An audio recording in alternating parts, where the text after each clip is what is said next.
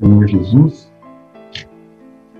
Aqui em Romanos, capítulo 2, no versículo 5, ele fala assim: Mas segundo a tua dureza e coração impenitente, acumulas ira para ti mesmo no dia da ira e da revelação do julgamento justo de Deus. Mas segundo a é, que retribuirá a cada um segundo as suas obras.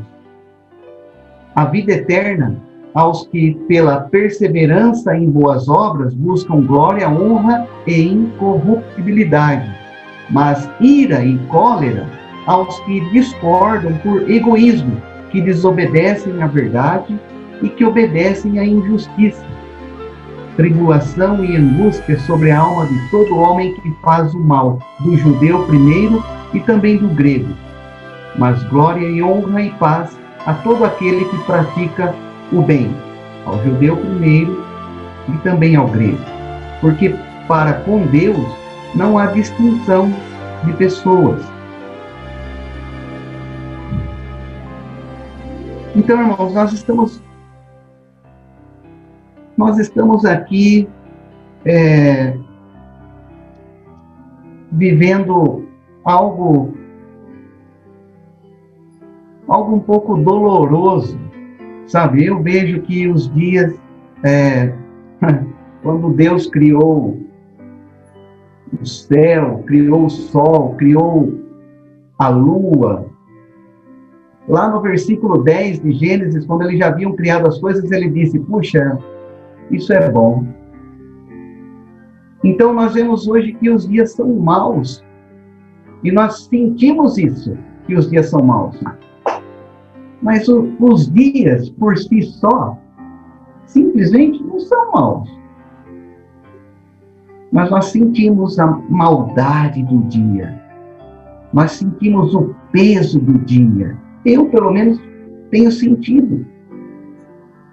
E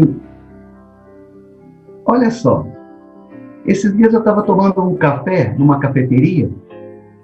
É uma cafeteria bem pequenininha, apertadinha. E enquanto eu estava falando com alguns clientes ali, tinham três mocinhas conversando. Elas estavam uniformizadas e conversando entre elas, e como as cadeirinhas ali eram todas juntinhas, eu ouvi toda a conversa. E elas estavam falando muito mal da gerente da loja. E que elas iam pegar a gerente da loja de jeito, e uma hora ela ia ouvir umas boas. E uma falou isso, a outra já pegou o gancho e falou: Eu também vou falar. Porque essa, essa menina ela pensa que ela é o quê? E elas estavam ali se arrumando para realmente pegar a gerente da loja de jeito. E ela falou assim: e o pior de tudo, e que essas pessoas que andam com Bíblia e não saem da igreja. Eu não gosto dessa gente. Eu falei, meu Senhor, meu Senhor, aí tem um problema muito sério. Né? E ela falando isso, falei, ah, se eu tivesse aqui, acho que desfrutando da minha Bíblia, acho que eu ia levar uma, uma bibliada dessas moças. Né? Mas aí eu ouvi aquilo e eu olhei bem no semblante delas, eu, elas estavam tão ali compenetradas que elas nem perceberam que eu fiquei olhando para elas ali. E eu falei, Senhor, preciso falar alguma coisa com essas moças, o que, que eu posso falar? Talvez elas não vão entender, mas. O que, que é aquilo, sabe? Aquilo lá me doeu, ela, ela ter essa sensação sobre crente, sobre alguém que serve a Jesus, né? E e daqui a pouco ela abriu a bolsa, tirou um remédio, e ela falou assim, ai, deixa eu tomar meu remédio. Aí tomou o remédio e, o, e ela falou, para que, que esse remédio? Ah, é para depressão, não posso ficar sem. E ela falou, ah, eu também tomo remédio para depressão, e ali as três tomavam remédio para depressão.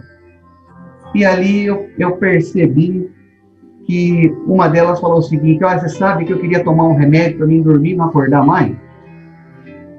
Eu queria tomar um remédio para mim na verdade, eu queria apagar. Eu queria virar uma fumaça. Eu queria simplesmente sumir. Eu tomei o remédio e sumi.